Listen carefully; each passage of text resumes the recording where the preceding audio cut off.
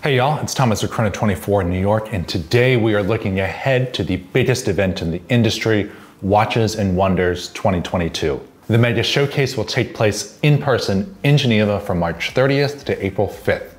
There are roughly 40 brands signed up to participate so far, with many expected to release new watches during the fair. Lots of eyes will be on the heavy hitters like Patek, Cartier, Tudor, and Grand Seiko, who, by the way, represent the first Japanese brand to exhibit at Watches and Wonders. But of course, everyone, and I mean everyone, will be waiting to see what new watches Rolex comes out with. Whether you love them or you hate them, or you think they're overrated, Rolex is the top dog in the industry, and whatever they do, it's to cause a big shakeup in the media and the markets. I mean, they changed the size of the Submariner by one millimeter, and people talked about it for weeks. So let the guessing game begin. How do you think the brand's lineup will change in 2022? Are we going to see more two-tone sport models like the Explorer from last year?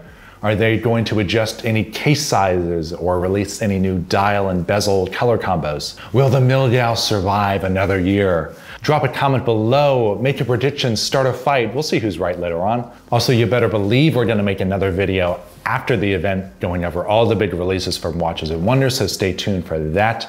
I'm Thomas Chrono 24, and as always, enjoy your watches, y'all.